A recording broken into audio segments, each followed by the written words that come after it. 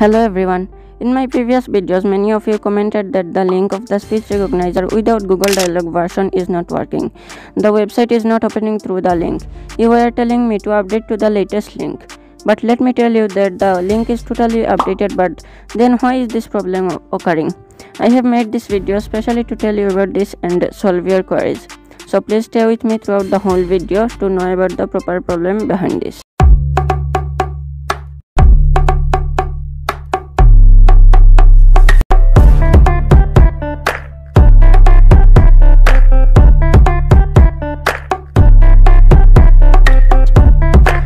The link is to take us to the website named appybuilder.com. This was the website which I used to download and use the speech recognizer extension without Google Dialog in my previous videos. But unfortunately this website community.appybuilder.com is currently down or maybe it is blocked for some reason. This results that you cannot go into this website by any links or you cannot open it from Google even you can't download any extensions from it as I have shown this website in my videos and as the link is not working anymore, many of you were getting confused on how to download the extensions. But I have found another website named kodular.com in which the same extension is available. So I have updated the links. Here's how you can download the speech recognizer extension without Google Dialog version from the new website.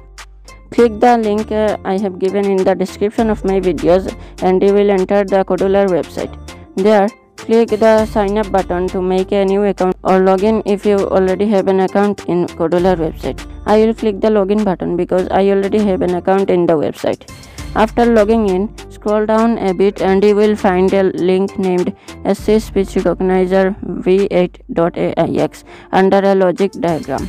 Click that link and the extension will be downloaded in your device within a few seconds.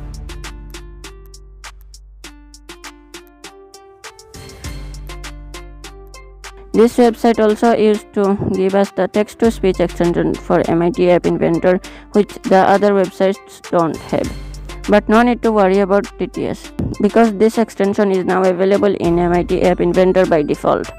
To use the default text-to-speech extension of MIT App Inventor, open the media in the designer section. There you will find the text-to-speech extension. Drag and drop that into the screen to use it. I have updated all the links in my previous videos by giving the link of the speech recognizer's new website and also shown the download process. Okay, so that's all for this video. Hope your queries are solved now regarding this issue. Feel free to comment below if you still have any doubts. I will reply to each and every comment of yours. Also, if you find this video helpful, then please like it, share it with your friends and subscribe to my YouTube channel to stay tuned with all my coding videos of MIT App Inventor and other sites. Thanks for watching, stay tuned, stay safe.